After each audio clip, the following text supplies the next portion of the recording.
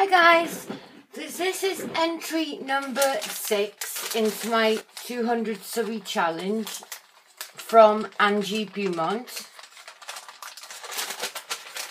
And let's see what Angie's made for me. Oh wow. Every day's a new beginning. So she's made me some mixed media circles which is really cool because she knows I love mixed media. So that's 10 points. 10 points. Made me some like steampunk embellishments. That's another 10 points. She made me some of these, which I said I really loved on her channel. Um, so I'm ever so glad she gave me some of these. That's another 10 points, my lovely. They're absolutely gorgeous. I love these roses. They're beautiful. Gosh, I can't believe you had these in scraps.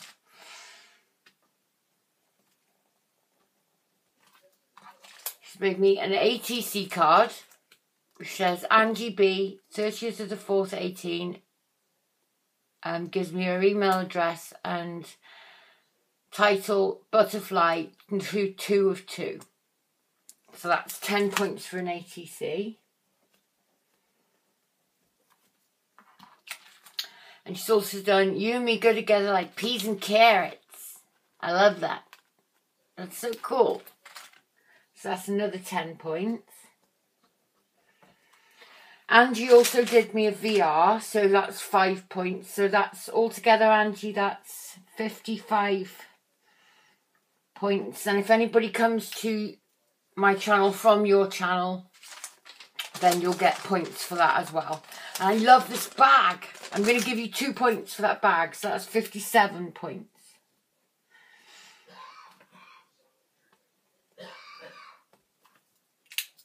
I'm going to give you two points for the bag as well because I think the bag is absolutely amazing. So thank you very much for those. Plus, Angie also granted my Make-A-Wish, which was for die cuts because my die cutting machine isn't working properly at the moment. And there are loads in here, and I mean absolutely loads. Angie, your arms must be killing you.